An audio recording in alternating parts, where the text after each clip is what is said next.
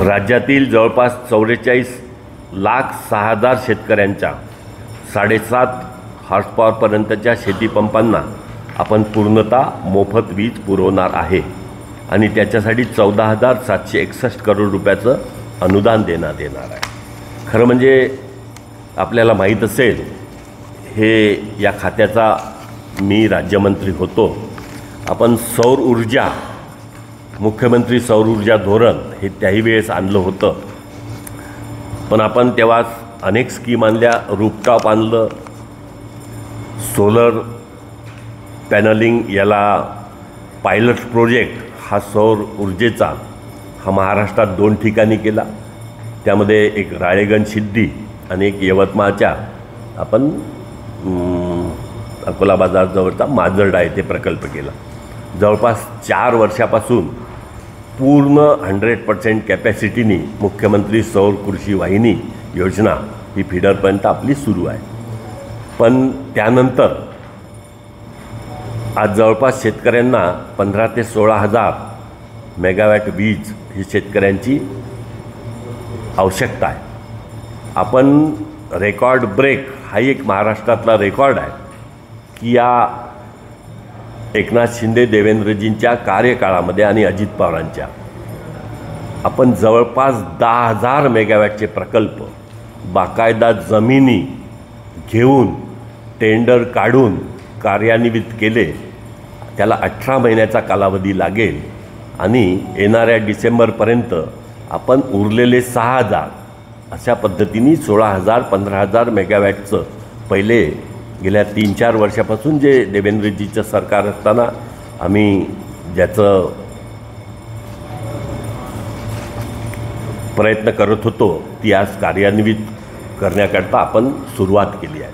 खरं म्हणजे तुम्हाला माहीत असेल की आपण शेतकऱ्यांना सबसिडाईज रेटवर एक रुपया दहा पैसे ते पंचवीस रु पैसे इथपर्यंत रेट देतो.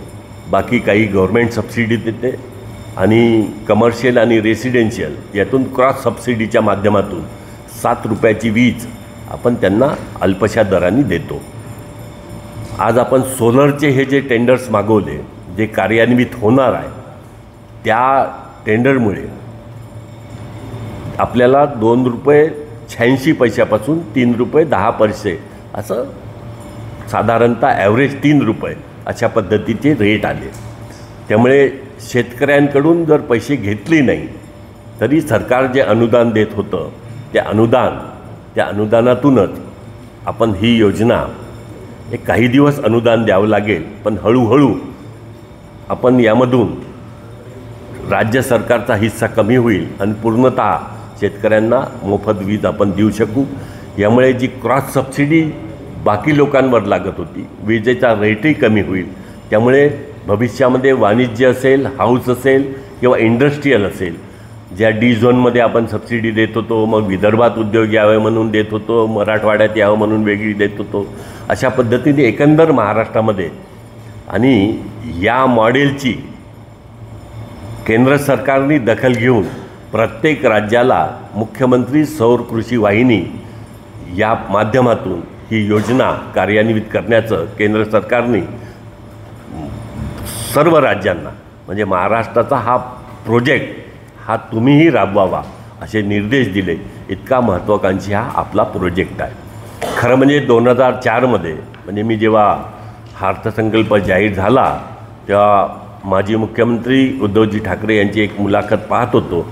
त्यांनी सांगितलं की दोन हजार चारमध्ये सुशीलकुमार शिंदे मुख्यमंत्री असताना ही योजना जाहीर झाली निवडणुकीच्या काळात झाली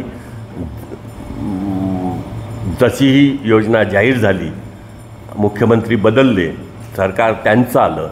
पण मग कुठे प्रिंटिंग मिस्टेक त्या काळामध्ये निवडणुकीच्या शून्य रुपयाचे बिलही पाठवण्यात आले.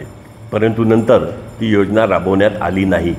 पण याचं प्लॅनिंग गेल्या चार पाच वर्षापासून देवेंद्रजींच्या नेतृत्वातलं सरकार असतानापासून अडीच वर्षात महाराष्ट्रात आपलं सरकार नसताना ही योजना थंड बसत्यात होती.